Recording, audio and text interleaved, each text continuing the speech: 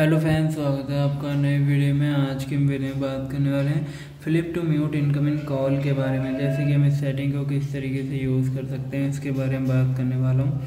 तो चलिए fans video को शुरू करते हैं। वीडियो को शुरू करने से पहले अगर आप चैनल पर नए हैं तो चैनल को सब्सक्राइब कर वीडियो को लाइक कर दीजिए। फ़ैन जैसा कि आप देख सकते हैं, मेरे पास ये रियल मी का फ़ोन है और आपको सबसे पहले क्या करना है सेटिंग पर जाना है तो क्लिक कर लेंगे फ़ैन सेटिंग पर। सेटिंग पे क्लिक करने के बाद आपको इस तरीके का आइकन शो करेगा। आपको यहाँ पर क्या करना होगा, जैसे कि आप देख सकते हैं थोड़ा सा ऊपर की साइड स्क्रॉल करना है और आपको यहाँ पर देखने के लिए मिलता है सिस्टम सेटिंग तो इस पर आपको क्लिक करना है। क्लिक करने के बाद आपको इस तरीके का इंटरफेस हो जाएगा। आपको यहाँ पर इस वाले ऑप्शन पे जाना है।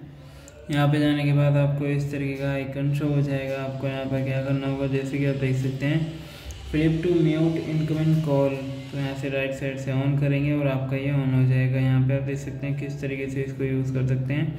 जैसे कि यहाँ पर flip to mute incoming call यानी कि आप ऑफ़िस वगैरह में बैठे हैं मीटिंग में बैठे हैं, और एकदम से आपका कॉल आ जाता है और आप क्या चाहते हैं कि कॉल एकदम से कट हो जाए तो आप क्या कर सकते हैं? जैसे कि आपका कॉल आता है तो फ़ोन को उठाकर उल्टा करके फ़ोन को रख दीजिए टेबल पर, उससे क्या होगा, आपका कॉल म्यूट हो जाएगा। इस तरीके से आप इस सेटिंग को यूज़ कर सकते हैं। और फ्रेंड्स अगर आपको ऐसे समझ में नहीं आता है तो एक और तरीका हमारे पास उसके बारे में बताऊँगा। सबसे पहले सेटिंग पे जाएँगे तो क्लिक कर लेते हैं। सेटिंग पे जाने के बाद आपको सर्च वाले ऑप्शन पे जाना है और आपको यहाँ पर सर्च कर लेना है। जैसे कि आप देख सकते हैं flip to mute incoming call यहाँ पर शो हो जाएगा। इस पर क्लिक करेंगे। क्लिक करने के बाद आप इसे यहाँ से ऑन करके यूज़ कर सकते हैं।